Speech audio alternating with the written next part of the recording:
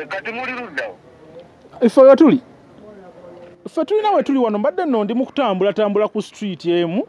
Si- sigitegedde kuba nange mbadde ntambulamu byange byakumakya nga bamanyi abantu abalina kuba ninamu ne kasente nno kyekyewuunyisa era ne sente mbadde muwadde wano kasente akagaanyi. Nga bamanyi abalina balinamu sente tutambulatambula okitegeere Hey, Eh, ku street emu. Taxi. Mm. Omutegedde omukyalawo omukyala oyo tolina Ah, kandabe shani ani obusobola omungirira engeri gyafaananamu? Eshami yegwe eshami nedda. Mm. sinze shami. Omuwulidde? Ah, ono- mutegedde. Yaani? Yaniifa yegwaniifa nedda sinze anifa yegwani shakira. Ono eshakira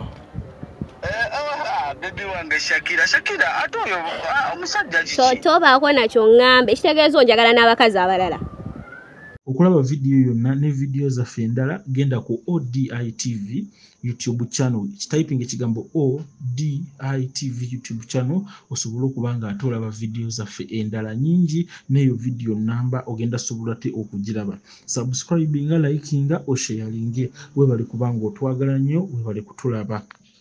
Okulaba vidiyo yonna n'okulaba vidiyo zaffe endala genda ku youtube channel gyoyita odi films nga wekiraba ekigambo kiri odi films si odi tv eno channel ya odi tv naye otypinga odi films ogenda olabe firimu zetukoledde ennungi.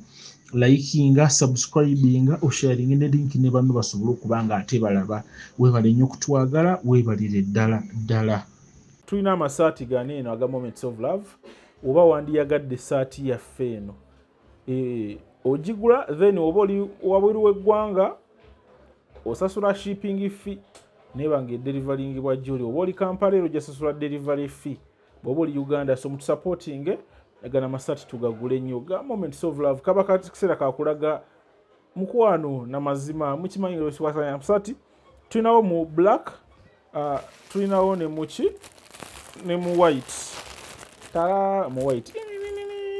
So just inboxing enamba yaffe nogamba njagala masaati njagala esaati oyinza ozigula nitukukolera titititi eziwerako noga jackson njagala kwesala saati yo njagala enkofiira njagala jampa byonna nga bya moments of love. E, nzimbemu wali wali wona wona wona okitegera amagezi eh? so weziri ziri butereevu nga ziri wano ku meeza yaffe. Azaagala inboxing enamba yaffe mbaagala nnyo mbaagalye ddala Hello, nyabo kyebaleko nina obubaka bwo